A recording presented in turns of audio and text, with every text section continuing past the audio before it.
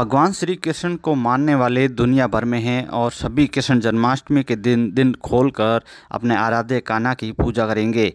उनका जन्म महोत्सव मनाएँगे। पश्चिमी राजस्थान के बाड़मेर में रहने वाले कृष्ण भक्तों के लिए इस जन्माष्टमी कुछ खास मिलने जा रहा है।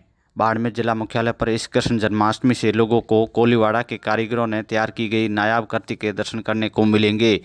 25 किलो शुद्ध चांदी से निर्मित भगवान श्री कृष्ण जीवन की विभिन्न चमत्कारी घटनाओं उनके उपदेश और जीवन चरित्र के दर्शन इस 25 लाख की लागत से बनी कलाकृति में मिलेंगे।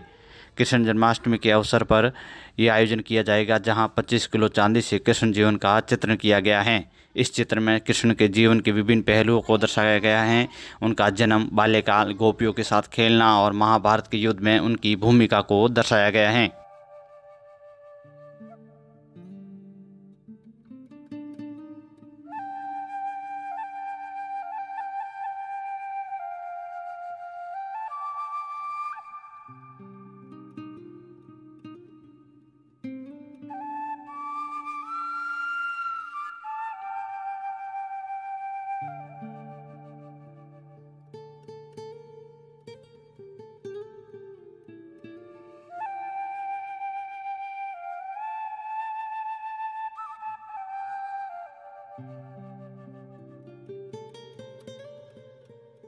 कृष्ण लीला ये मंदिर की दीवार नौ बाई अठारह के अंदर बनी हुई है।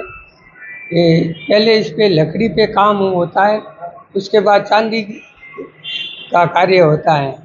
चांदी के पत्थरे हमने उदयपुर से बनवा के लेके आए और फिर जो डिज़ाइन लकड़ी लकड़ी के ऊपर अंकित होती है उस पर वो अपने औजारों से पीट के इसको डिज़ाइन को सेट करते हैं उसके ऊपर। इसमें बहुत ही बारीकी से काम किया गया है, डिज़ाइन एकदम खुल रही है, बिल्कुल भी।